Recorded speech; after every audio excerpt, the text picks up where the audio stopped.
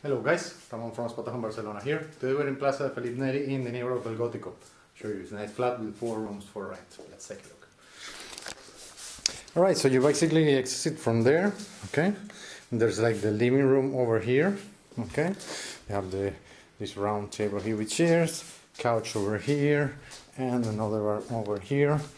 There's this desk, okay? The chair and stuff. And there's like a few rooms over there bathroom over here another room there and the kitchen okay? Let's start with the rooms over here. So bedroom number one has a hanger over here double bed over here and its desk with chair okay?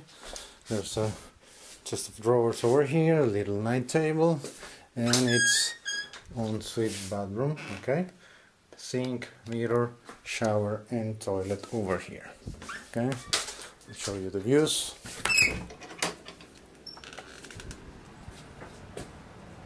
Okay, we're very up high, so you have plenty of light. Okay, very quiet and ventilated as well. Then, and it's heater well. Then bedroom 2 with a double bed here. Okay. The Volta Catalana ceilings. Chest of drawers and a wardrobe over here, always with a few shelves and a heater. Okay. Some more shelves over here. Mirror. The main access. And there's this area here with a few shelves as well, the water boiler and another bathroom, sink, shower, toilet and everything. Moving on, there's the kitchen over here, the complete kitchen, the freezer and fridge, mm, washing machine, sink and all the tools and stuff you need. There's an oven, electric stoves, microwave, toaster, coffee maker, okay, some storage space there. Bedroom 3 with a double bed as well, wardrobe over here.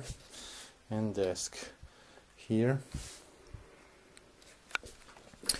This one has pedestrian street view, okay